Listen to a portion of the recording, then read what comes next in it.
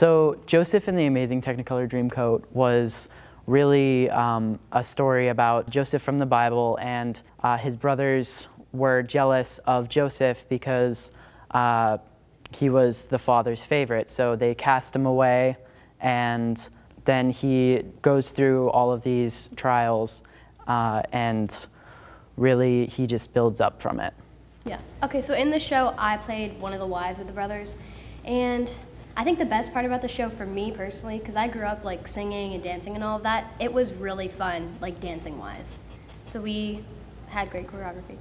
and there were a bunch of musical numbers where it was everybody, not so much solos, how it is in The Little Mermaid, but it was a big group number piece. And yeah, I played Judah, um, where I sang uh, the "Oh No, Not He" song, and um, it was just it was a really big uh, number, and almost all of the numbers were all ensemble. Yeah, it was a yeah led. Show. Yeah, and it was it was so much fun.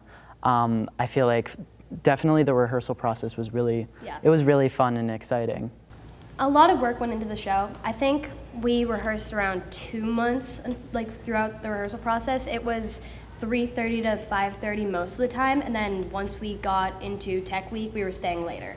And so we had a show during the day for the grade school kids. We had four shows on the weekend, I think, yeah. Mm-hmm. And so, yeah, it was a long rehearsal process, and it was really involved because we had vocals and we had dancing and staging, and it was a lot to learn, but I think it was really rewarding in the show. Yeah, a big chunk of uh, our time at rehearsal was spent uh, working on vocals because there were no lines in that show, or there were just a couple lines in the show.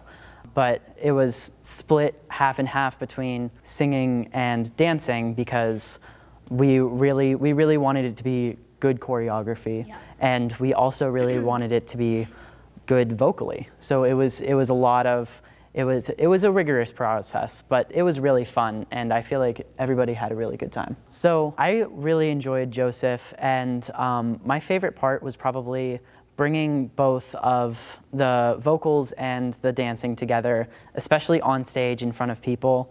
Um, I mean, people really seemed to enjoy it. It was sold out almost every night, so it was it was really it was really amazing to uh, see uh, the people really enjoying it and to see uh, people coming to see our shows, uh, especially because it brings out the Catholic values of our school and it really emphasizes that with uh, Cathedral Prep. No, I agree. I think my favorite part of the whole entire process was definitely the dancing. I think it was so cool to see how maybe probably me, but we were all struggling at first, and then as we went on, we all became so good. And we got to use partner work, we got to do some lifts. I think it was definitely one of the best shows I've ever been in dance wise, and I think the choreography kind of made the show so spectacular and made the show what it was. Yeah. Yeah.